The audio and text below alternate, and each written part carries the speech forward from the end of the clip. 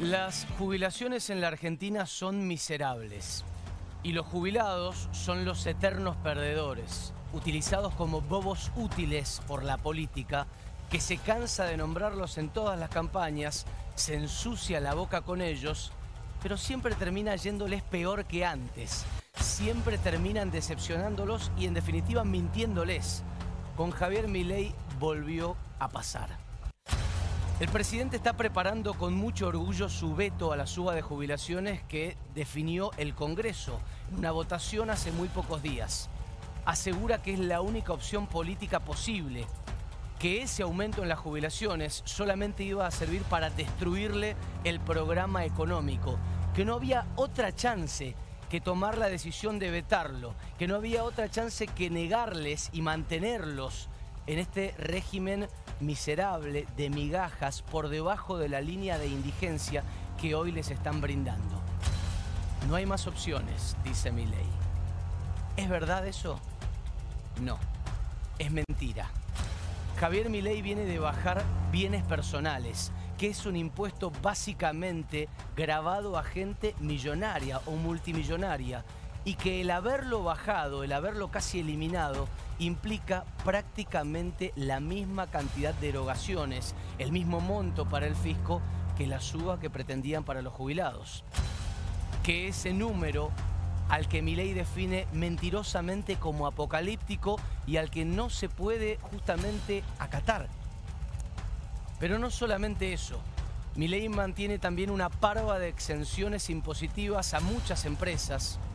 El país, no solo mi ley, mantiene a una casta judicial que se rehúsa a pagar ganancias y a pagar otra serie de impuestos, no solo ya los jueces, sino muchos de sus allegados, aunque tengan sueldos astronómicos.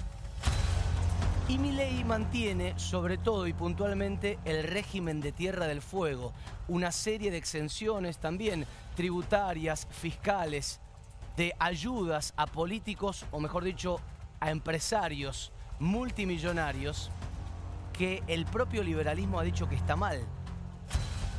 Y uno se pregunta, ¿qué implica todo eso? Para muchos de los que entienden del tema, incluso a nivel legislativo, estamos hablando de cuatro puntos del PBI, o sea, 10 veces más que la suba de las jubilaciones que implica 0,44%. Y me voy a detener puntualmente en el régimen de Tierra del Fuego, insisto, mejoras fiscales para multimillonarios, que el propio Milei debería ponerse en, el otra vereda, en la otra vereda. ¿Por qué? Porque son dádivas estatales que interfieren en el mercado, que debería ser impoluto.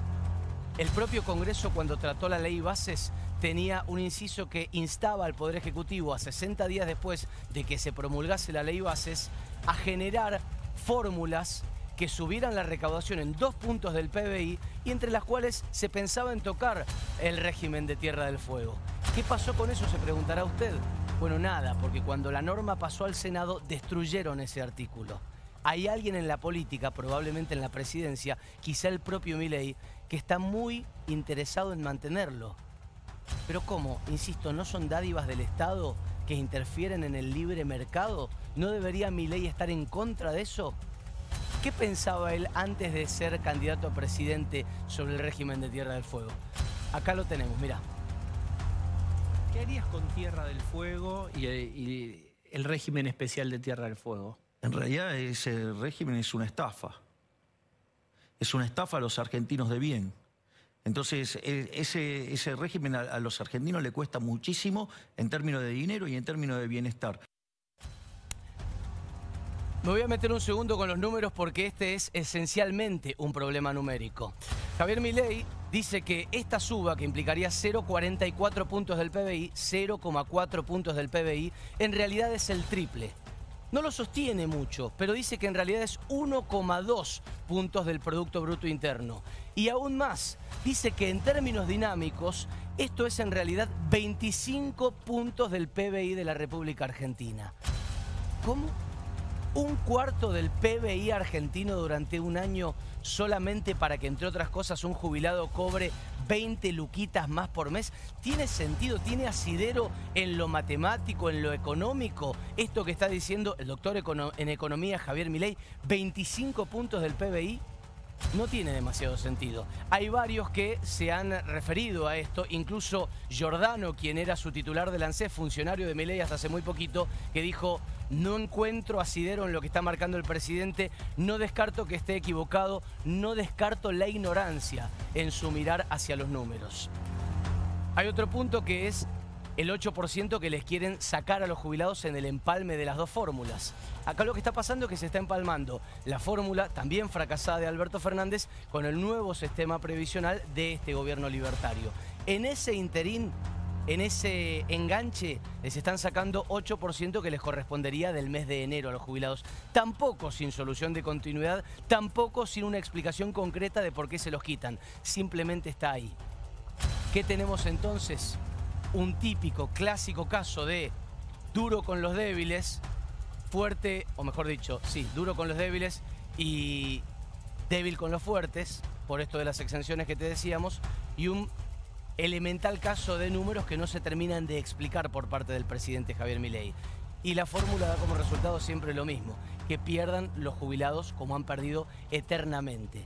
Mencionados en todas las campañas políticas, pero cada vez más pobres ahora esencialmente más pobres, ya a un nivel insólito, 100 mil pesos por debajo de la línea de indigencia.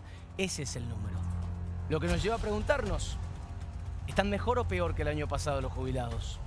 Vamos a verlo con data concreta, que es lo que le estamos exigiendo al Ejecutivo. Alguien que hoy recibe el haber mínimo en la República Argentina se está llevando exactamente 295 mil pesos. Eso es lo que se está llevando hoy. Si lo ves en términos reales, lo que se llevaba en diciembre del año pasado eran 350 mil pesos, el equivalente a 350 mil pesos. O sea, el que cobra la mínima en la Argentina, el que cobra ese número que insistimos no les alcanza para nada, que es menos de 300 mil pesos, está peor que en diciembre del año pasado en términos reales. El que cobra un poco más, ponele dos saberes mínimos, ese está un poco mejor porque hoy cobra 254 mil y en términos reales en diciembre cobraba 224 mil. El tema es que, claro, más de la mitad de los jubilados de la República Argentina está cobrando la mínima. O sea, no es del todo cierto, y es bastante poco cierto esto que dice mi ley, de que están 5 puntos por encima de la inflación respecto a lo que estaba en el año pasado. Vamos a cerrar así entonces. El raconto es bastante simple. Están perdiendo con mi ley Perdieron con el farsante fantoche mentiroso de Alberto Fernández, que en campaña les prometió subirles 20 puntos la jubilación y el resultado fue que perdieron 9,8% de poder adquisitivo en todo su gobierno. Perdieron con Cristina Kirchner, que vetó el 82% móvil en 2010 con argumentos casi idénticos a los que hoy emplea el presidente de la Nación. Y perdieron también con el kirchnerismo cuando, claro, sumaron a una horda de gente al sistema previsional sin aportes y que nos duela como nos duela y nos pese como nos pese, es a todas luces insostenible. Perdieron con los K, perdieron con Milei. Macri los está decepcionando porque sus legisladores primero votaron a favor de la suba y ahora disfrazados no sé de qué van a votar a favor del veto de eso que antes habían aprobado. En definitiva, hay una sola moraleja muy clara. En la Argentina puede ganar el que gane, puede gobernar el que sea, pero hay uno que siempre pierde. Son ustedes, los jubilados. Bienvenidos a